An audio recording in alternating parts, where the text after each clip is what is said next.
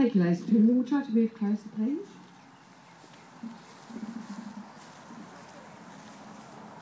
And thank you, Anthony.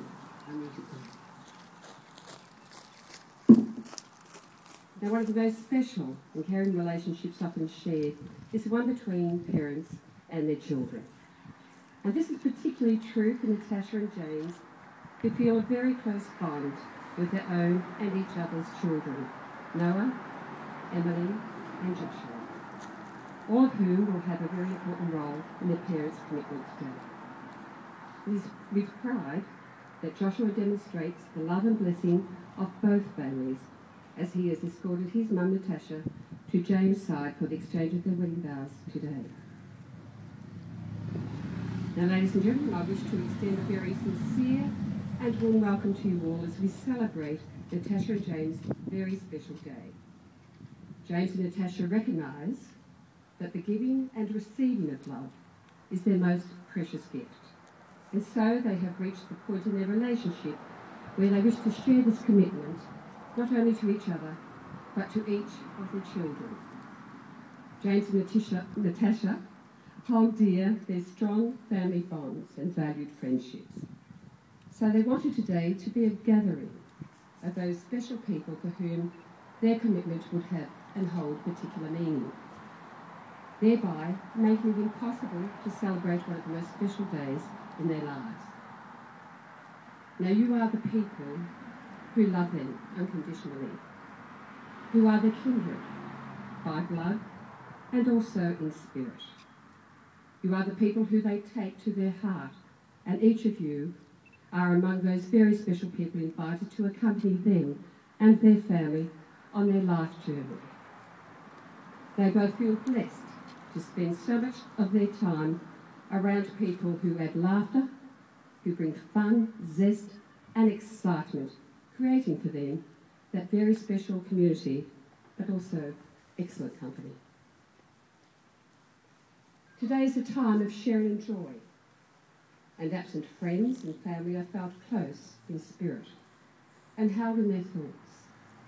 In particular, Natasha's mother, Beverly. She is held close in her heart as she acknowledges the important and significant role and the influence she has had and still has in her life. Today, Natasha and James invite you to witness their promises in marriage. Now, as they take this exciting step in their lives, it is definitely my greatest thrill and privilege to actively celebrate today. We're just going to do a bit of sharing. When James and Natasha first met, they were equally charmed by the other. They literally fell into each other's lives and became entwined knowing that it felt like they should be together for the rest of their lives.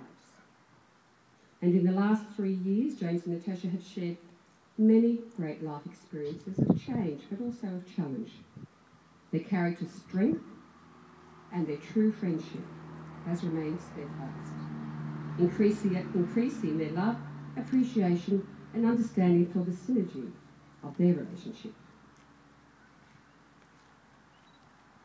The profound knowledge they have of each other, prompted by their shared sense of humour, has proven for them the importance of laughter and its ability for creating a positive and renewed outlook when things may otherwise appear daunting.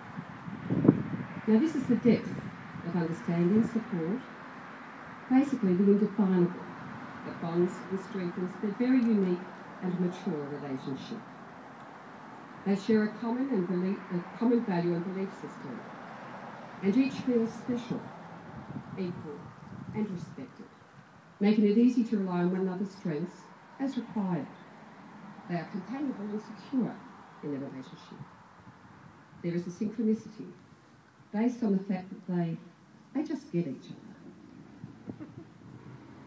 James and Natasha love family and family life, and while sharing many of the same values, they recognise the importance of their separate strength. For instance, James, as we all know, has a really keen sense of humour.